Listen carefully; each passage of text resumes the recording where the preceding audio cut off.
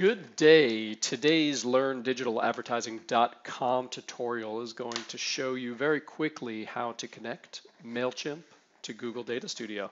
And we're going to take it a step further and create actually a great email marketing template so that you can not only see all the MailChimp data, such as campaign information, clicks, opens, unsubscribes, um, but also Google Analytics data, which is going to pull in all that on-site behavior, how much revenue was generated, how many sessions were created, that sort of thing. So on screen right now, you're going to look at uh, something what we're basically going to end up with, a uh, similar look. Um, and it's going to have a, a, bunch of different sections, and you can view them all in the blog post uh, in the link below the video. Uh, and we're just going to jump right in and show you how to connect all this. Should take about three minutes. So let's do it. First thing you're going to do is visit our template. Again, links in the blog post and below the video. And you're just going to click Use Template. So by clicking Use Template, what this does is make the template yours. You're no longer connected to our template. Your data is still yours. And you got a few quick steps here to connect your data, and then you are up and running. So First things first, step one, you're going to want to create a free Supermetrics account if you don't have one already. Uh, it just takes a minute. There's a link right there, so just click through and create your account. We're going to need Supermetrics to connect Data Studio to MailChimp. Uh, the Google Analytics connection will be free, and that's directly through Google. Um, the the uh, MailChimp one, uh, it is free, but it's also, there's some upgrades as well with Supermetrics depending on the volume you're doing and everything. So um, you can check all that out on their website. So we already have a Supermetrics account. So what we're going to do is start adding our data sources. So as I mentioned, there's two data sources. First is Google Analytics. Um, so first thing you're going to do is go lower right like you usually would to create a data source. And I'm just going to call this data source Analytics. And going to go ahead and attach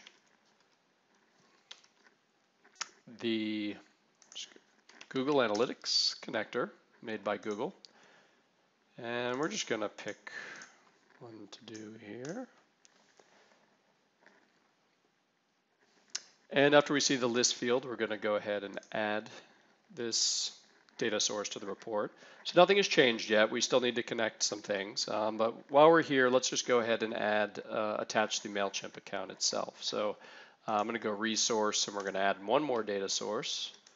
And this data source is going to be called MailChimp.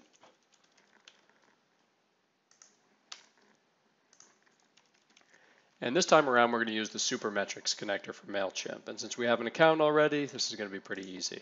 Um, I'm going to select this connector. And there's really just one thing to configure. It's going to ask you to select the campaigns or lists which you want to report on. Now, if you've never logged into Supermetrics before, you may have had a login screen in between, uh, you know, before and now. Um, but what, what you're going to want to look for is your list name and all campaigns. So if you have multiple lists, you have to pick which one or which lists you want to report on. You can do multiple at once if you want to. We're just going to look at this one list. We're going to check it off. And that's the only configuration uh, for this. So I'm just going to hit connect and uh, we're going to approve the data fields, no changes to make here. So now both of our data sources are attached. Um, we're just going to quickly add them to the appropriate charts. So what we did in this template to make this easy is we grouped all the Google Analytics uh, charts together. We also grouped all the MailChimp charts together. So what you're going to do first, uh, where it says step two here, it says attach Google Analytics here. So I'm just going to create this, I'm going to click, I'm sorry, this scorecard right here. You'll see on the right side group properties show up, and that, what that's going to allow us to do is add this um, data source to that whole group. And you'll see in a second that about half of our charts all populate. So I'm going to go ahead and delete that because we don't need that anymore. These are just instructions. So, so, all the Google Analytics data you can see is pulling in already. Um, now there's one modification to make to Google Analytics. We're technically pulling in all the data, so what you're going to want to do is add a group filter and you're going to create a new filter. And the goal of this filter is to look only at email traffic. So I'm just going to call it email traffic GA. Now, for most of you, um, what you want to do is probably filter by medium. So depending on how you tag using UTM codes all of your uh, email marketing accounts, this is what you want to put in here. So we always, for email, use a medium of email. Uh, you may use something different, but this is pretty standard. So we're going to include the medium contains email and hit save. So now what we've done at the group level is attach the data source and we're filtering that data source just for the email traffic. So you can see a lot of our charts changed uh, to only show email traffic. That part's really important or else you're going to be reporting on all website data. You want to just sort of filter to that email traffic. Last step, same, same logic here. Step three, attach MailChimp here. I'm just going to click that scorecard there. Again, the group's going to populate. And this time I'm just going to say MailChimp. And while that's loading, I can go ahead and delete instructions, and voila, you can see that we have all of our data here, how many emails sent, sessions, we have the campaign level stuff. We can look at email traffic, so this is just to get a feeling for on the day-to-day -day or week-to-week -week how we're doing it. Um, under the list data, we have the list growth information. So on this particular website, um, it's a certain goal that we track that shows the different uh, signups. Um, so this gives us an idea. So it's actually a Google Analytics goal we're pulling in here. You may need to switch that out based on what your goal is that uh, defines a, a newsletter sign up.